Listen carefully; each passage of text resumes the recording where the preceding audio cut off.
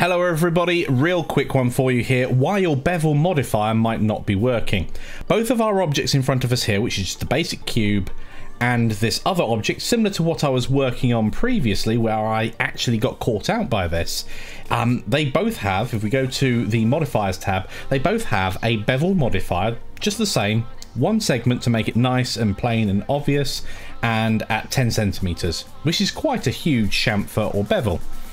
Now, when it comes to actually discovering what had gone on here, it took me quite a while. So let's get straight to it. Let's grab our cube, go into edit mode. The way that the extrude tool works is when you go ahead and press E to extrude, you're actually doing two operations. You're extruding and moving. You can see straight away that my bevel has gone. Once I start extruding, the bevel comes back again.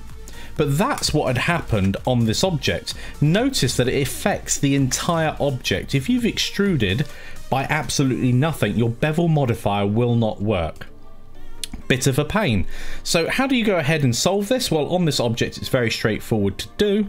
We go ahead into edit mode and we merge by distance. So you can press F3 for search and then merge by distance, and that will actually solve the issue which is really nice and quick.